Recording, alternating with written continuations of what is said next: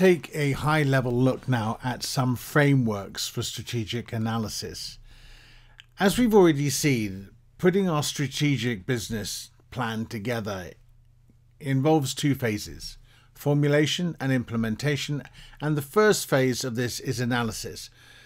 But the question that I haven't answered and I want to introduce you to now is how do we go about this analysis? What tools can we use to help us think objectively and analytically about our business? Because without such frameworks, without these tools, uh, it's very difficult to make judgments and to make evaluations just by looking at the business itself because you have nothing to measure it against. You have no framework at all. It's a bit like trying to change a wheel on a car without a jack and a spanner.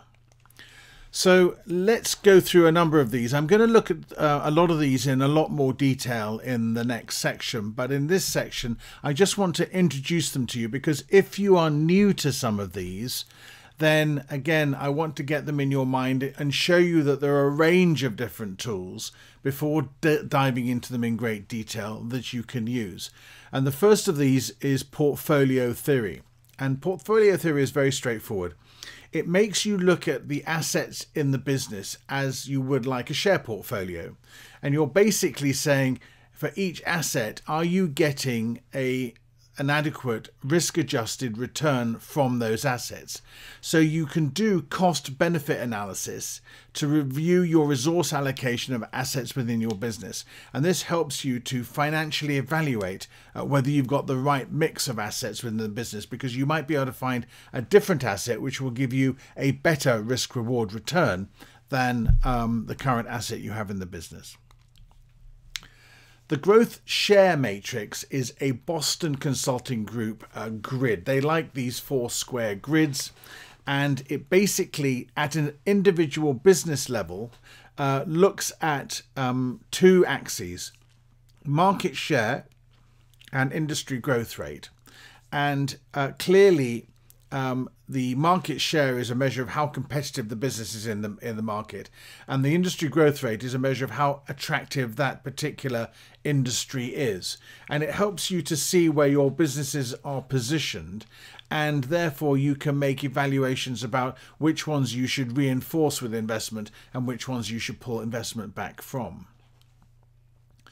Core competence is um, a technique which argues that your business should be the best at what it does in the market and you should just focus on that and anything else that doesn't contribute to reinforcing your business's core competence should be disposed of.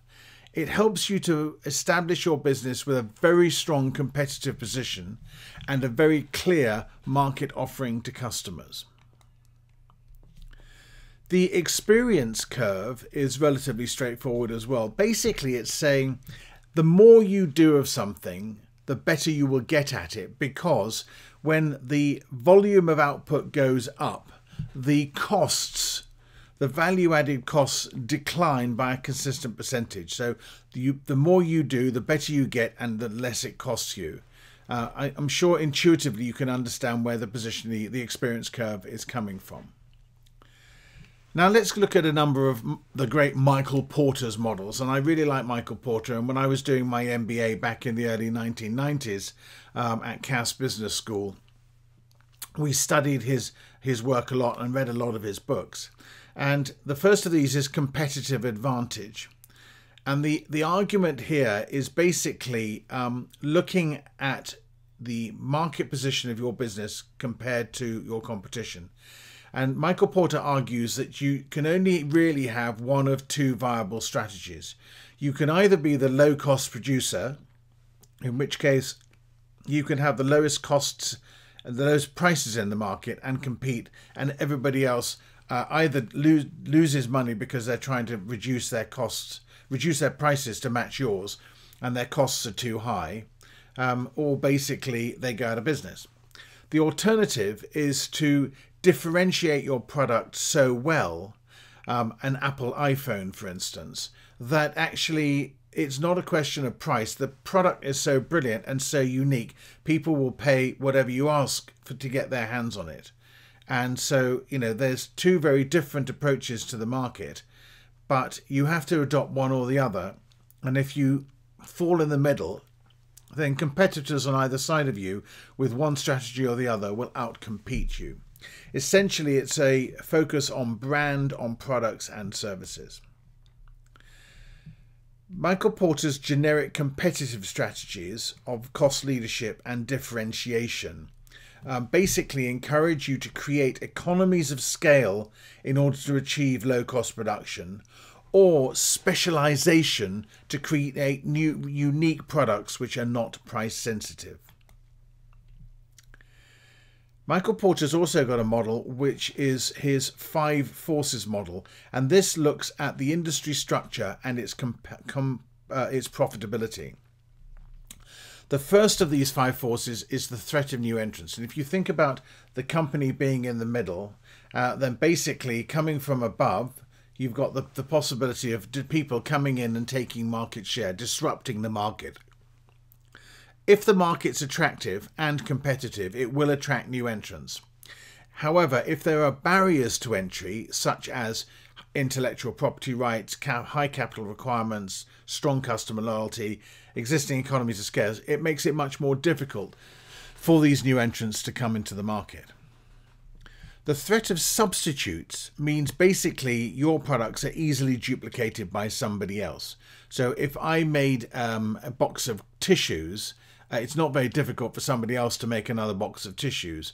And it's easy for customers to look on the shelves and saying, oh, well, there's this box of tissues here or that box of tissues there. Which one am I going to go for? Which is why uh, tissue boxes tend to be quite you know, strongly branded to try to build customer loyalty. The bargaining power of customers uh, enables customers to keep prices down um, against sellers who want to increase their profitability and it's this tug between um, the, you know, if, if a, a, customer has a lot of choice in the market, then they can play one seller off against each other and keep the prices down.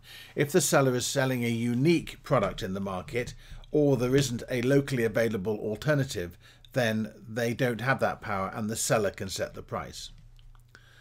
The bargaining power of suppliers is the reverse of that. This is where if many suppliers have access to the raw materials, then they um, will have relatively weak power because the buyer will be able to play one against the other. However, if there's a supplier with a, access to a unique raw material and you can't buy it anywhere else, they can set the price they want for that uh, raw material. And finally, the issue of competitive rivalry. It's really how competitive is the market?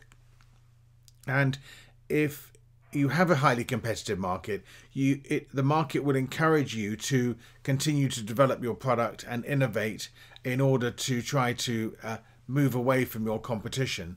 But a highly competitive market will keep prices keen and make it difficult for people to raise their prices. Let's look at SWOT analysis uh, strengths, weaknesses, opportunities, and threats. Uh, a classic uh, piece of uh, strategic analysis, which uh, enables you to look at the internal part of your um, business, strengths and weaknesses, and then the external market for your business and the industry conditions, opportunities and threats. So again, it, it sits across two and indeed th all three of the areas of our strategic analysis, which are the internal, the external, and the industry. Value chain is where you look at the primary activities of a business horizontally, which are the inbound and outbound logistics, then operations, marketing and sales, and servicing. So you're looking at um, the value added from the raw material coming into the firm and, and seeing where you can get efficiencies and cost savings and shorten and make the process, internal process, more efficient. Uh, underneath that, you then have the support activities, things like human resources, technology, procurement, and infrastructure, which again help those that, that main value chain to operate. And what you're looking for in your strategic analysis is how to make that process better, more efficient, more cost effective. So that's an introduction to strategic analysis frameworks. I'm hoping to, well, I will go into these in a lot more detail, but the purpose of this lecture was to introduce these ideas to you so that when we go into them in more detail, you have reference to where they sit in comparison to the others, and you're beginning to get an idea of um, strategic analysis and how to best conduct it for your business.